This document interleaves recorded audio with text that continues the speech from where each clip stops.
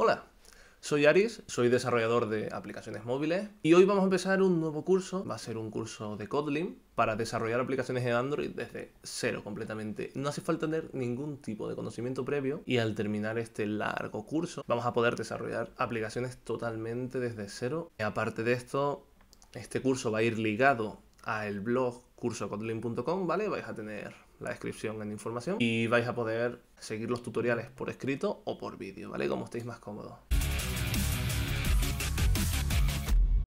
¿Qué vamos a ver en este primer capítulo? En este primer capítulo vamos a empezar con las variables, ¿vale? Que es lo primero que debemos de saber para poder empezar a programar. Si ya tenéis conocimientos sobre, sobre variables de otros lenguajes, esto va a ser muy sencillo, ¿vale? Simplemente será adaptar la sintaxis. Para los que no, os recomiendo que echéis un vistazo a este vídeo. Empezamos y para ello vamos a ir a play.kotlinlang.org, ¿vale? Es un editor de código, pero online. ¿Por qué? Porque no creo que sea necesario empezar con Android Studio desde cero ya, porque hay mucho más que aprender y va a ser más tedioso la introducción, ¿vale? Entonces, nos vamos a encontrar esto. ¿Qué es esto? Esto se trata eh, pues como ya he dicho, un editor de código, ¿vale? Que contiene un comentario y una función. Por ahora no le vamos a hacer mucho caso, ¿vale? Así que vamos a borrar esto verde y esto. Eh, aunque no lo explique todavía, ¿vale? Vamos a ir trabajando aquí dentro, ¿vale? Para poder ir haciendo pruebitas. Entonces, empezamos. ¿Qué es una variable? Una variable es un espacio de memoria en nuestra aplicación, ¿vale? Un espacio de memoria en donde almacenamos información de cualquier tipo, ¿vale? Datos, al final. ¿Vale? Imaginemos que son cajas. Nosotros tenemos una caja para guardar zapatos, una caja para guardar comida, otra caja para guardar lo que queramos, ¿vale? Entonces vamos a tener diferentes tipos de cajas y diferentes tipos, lo que son diferentes tipos de variables. Entonces, para empezar, pues, ¿cómo se declara una variable? ¿Vale? Una variable se declara con una palabra reservada var lenguaje de programación, ¿vale? Definen palabras reservadas que, que avisan al compilador de que es una palabra para algo en especial, ¿vale? Es como una orden, ¿vale? var de variable, el nombre de nuestro variable y el valor que le, queramos, que le queramos dar. Igual el valor que le queramos dar. ¿Vale? No hagáis mucho caso a esto, a esto porque ahora vamos a ir eh, variable por variable. Vamos a empezar con los tipos de variables. ¿Por qué? Porque hay tipos de variables. Porque cada tipo variable representa eh, cierta, tiene ciertas condiciones para poder ser usada. ¿Por qué? ¿Por qué no solo se usa un tipo variable? Porque hay algunas que necesitan más memoria y otras menos, ¿vale? Entonces hay que trabajar de una forma óptima y aparte que para, para realizar funciones entre ellas y demás que veremos más tarde, es muy útil. Entonces, vamos a empezar con las variables numéricas. Lo primero que voy a poner aquí, ¿vale? Si ponemos dos guiones, es texto comentado. ¿Qué significa el texto comentado? Que yo puedo poner aquí variables numéricas y el editor de código, el, propio compilador, lo va a ignorar, ¿vale? Porque le, le, estoy diciendo que todo lo que esté después de estas dos barras no le haga caso, que son comentarios, anotaciones que queremos usar incluso para documentar nuestros proyectos, ¿vale? Entonces, empezamos con la variable más sencilla. Las variables de tipo integer, ¿vale? ¿Qué es una variable de tipo integer? Una variable de tipo integer o int, ¿vale? Como la vais a ir trabajando, son variables que solo pueden almacenar números y números reales, ¿vale? No podemos meter números decimales, ¿vale? Y tiene cierto límite de memoria. ¿A qué me refiero con cierto límite de memoria? Voy a traer mi chuletita, ¿vale? De cursocodling.com y una variable integer puede almacenar desde este número negativo, ¿vale? Hasta este. Si es un número superior, eh, va a dar un error de memoria porque la variable está destinada a almacenar solo ese pedacito de información. Entonces, ¿cómo declaramos esta variable? Pues ponemos var de variable. Por ejemplo, yo qué sé, edad, ¿vale? Dos puntos y le decimos el tipo de variable que es. Como es integer, que es int, se lo especificamos. Ponemos igual y ya podemos poner el número que queramos. Por ejemplo, yo pongo 27, ¿vale? Hasta aquí bien. Pero bueno, te vas a preguntar lo típico de, joder, ¿y si necesito almacenar un número más largo? ¿O no se puede? Claro que se puede, ¿vale?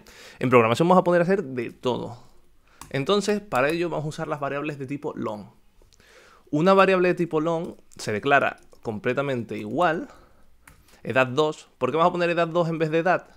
Porque si ponemos edad, ¿vale? Vamos a poner lo mismo. Si ponemos edad, me va a decir que no puedo. Vamos a ver el error aquí. Porque hay un conflicto de declaraciones. ¿Por qué? Porque ya está dos veces, ¿vale? Eh, cada variable que añadamos tiene que ser única, ¿vale? No se puede repetir el nombre porque entonces el compilador no sabe a cuál hacemos referencia. Entonces va a poner edad 2, 27.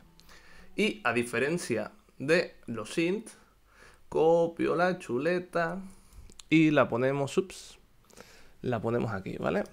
Podemos desde este número negativo hasta este. Vale. Ahora queremos usar decimales, ¿vale? Hemos visto que aquí no hemos puesto ningún decimal. Si yo pongo 27,3, pues me va a dar error. Para ello vamos a usar otro tipo de variable más, que van a ser las float. ¿Vale? Son como int, básicamente, pero con decimales. Var, edad 3, vas a poner edad 3, ¿vale? Que es de tipo float. Y para definirlo, le ponemos que es, por ejemplo, 56 con 4. Y nos va a dar error. ¿Por qué? Dice que no está especificado de la forma correcta. Y eso es porque las float necesitan ponerle una F al final, ¿vale? Es un poco confuso, pero nos vamos a ir acostumbrando súper rápido, ¿vale? Entonces, ¿qué, eh, ¿qué pasa con la float? Que tenemos el mismo problema. Float solo soporta 6 decimales, ¿vale? Entonces con float podríamos hacer hasta aquí, pero no más. Entonces, si necesitamos más decimales, pues tenemos ya la última variable numérica que vamos a ver, que es el double. Tengo aquí mi chuletita que me dice que los double soportan hasta 12 decimales, ¿vale? Decimales. Y para declararlo, pues lo mismo. Edad 4, por ejemplo, double. Es igual ya a 123, pues 1, 2, 3, 4, 5, 6, 7, 8, 9, whatever.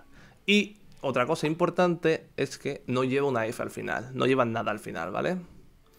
Entonces me vas a preguntar, bueno, ¿por qué no uso siempre el double? Porque el double ocupa mucha más memoria que una variable int. Y aunque en un programa muy sencillo da igual, porque además los móviles cada vez son más potentes, hay que empezar a trabajar con buenas prácticas desde el principio, ¿vale? Estas buenas prácticas nos van a ayudar a desarrollar un código más legible y más limpio en el futuro. Ahora vamos a hablar de las alfanuméricas, ¿vale? O básicamente variables que pueden almacenar cualquier tipo de dato. La más sencilla son las char, ¿vale? Que vienen de character, de carácter, vamos. Porque solo pueden almacenar, por ejemplo, letra, si es de tipo char, solo puede almacenar un valor, ¿vale? El que yo quiera. Pueden ser cualquier tipo de carácter, un número, una letra, cualquier tipo de carácter, pero tiene que ir entre comillas simples, ¿vale? Incluso podemos poner eso, una arroba, un signo, lo que queramos, pero si ponemos dos valores, ya nos va a decir que no está permitido. Entonces, si queremos guardar una palabra, ¿qué tenemos que usar? Por ejemplo, para Aris, ¿tenemos que usar cuatro char? Obviamente no, ¿vale? Esto está ya más que pensado.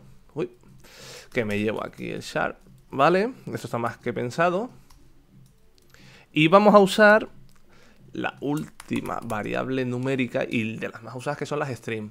Las string es una cadena de texto, ¿vale? Nos permite almacenar cualquier tipo de carácter en una cadena indefinida. Es decir, yo pongo aquí var. Eh, vamos a ponerlo todo en español, ¿vale? Nombre y edad. Nombre, edad. Por ejemplo. Pues esto va a ser de tipo string y es igual a... Hay que ponerlo entre comillas dobles, ¿vale? A diferencia del char, este lleva comillas dobles. Y podemos poner lo que queramos. Por ejemplo, hola. Me llamo Aries y tengo 27 años. ¿Vale? Fácil, ¿verdad? Eh, solo nos queda un tipo de variable, ¿vale? Que es bastante, bueno, yo diría que es la más usada para la programación, ¿vale? Para definir flujos de desarrollo. Y es muy sencilla. Se trata de un boolean. Boolean, booleano, como lo queramos llamar. El boolean para que nos hagamos una idea, sería como un interruptor, ¿vale? Un interruptor puede estar encendido o apagado, no hay más. Eh, cero o uno, verdadero o falso, ¿vale? Pues se trata de condiciones sencillas. Boolean solo puede contener. Var. Eh, estoy feliz, por ejemplo. Venga, estoy feliz. Es domingo, me lo merezco, estoy feliz. Pues true. ¿Vale? Vamos a definirle el tipo, que esto lo veremos a continuación. Boolean. Y es true. ¿Vale? Entonces solo puede ser true o false. No hay más. Y esto lo vamos a usar muchísimo, ¿vale? En los siguientes capítulos vais a aprender cómo usarlo y es increíble. Entonces, dos cositas que debemos saber aparte de todo esto. Como vieron al principio, cuando yo creé el name, no especifiqué el, tipo de variable. ¿Por qué? Porque Kotlin puede averiguar qué tipo de variable es. Por ejemplo, si yo pongo aquí var name, pero le pongo un 2, name, bueno, a poner test, ¿vale? Si yo le pongo un var test y le pongo un 2, Kotlin está pensando que esto va a ser una variable de tipo int, ¿vale? Porque es lo que más concuerda. El problema es que si yo ahora tengo esa variable test, ¿vale? Y como es una variable, obviamente, se puede, se puede modificar el valor. ¿Por qué? Porque, bueno, durante la programación podemos tener una edad, luego sumarle cualquier cosita, ¿vale? Hacer cálculos con nuestras variables, que lo veremos en el siguiente capítulo. Pero bueno, entonces, ahora le quiero poner que es un 5, y no hay problema. Pero si le digo que ahora es un float, me va a decir que no. ¿Por qué? Porque él se espera un int, ¿vale?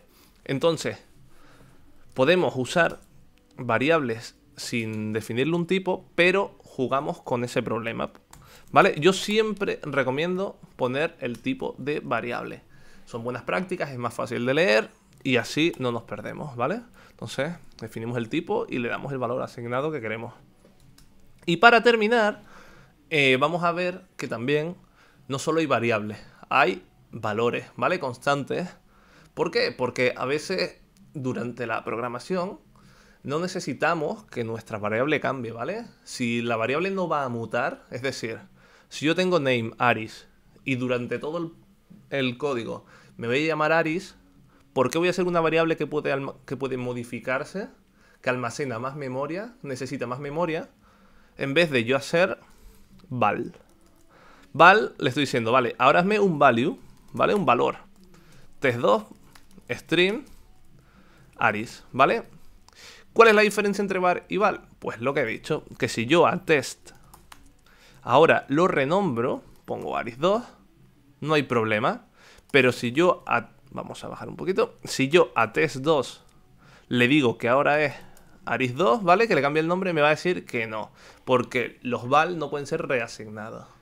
Y con esto terminamos ya las variables, ¿vale? Va a ser lo más sencillito que vamos a trabajar, pero a partir del próximo capítulo vamos a empezar a operar con las variables para ir entendiendo su funcionamiento. Así que hasta luego.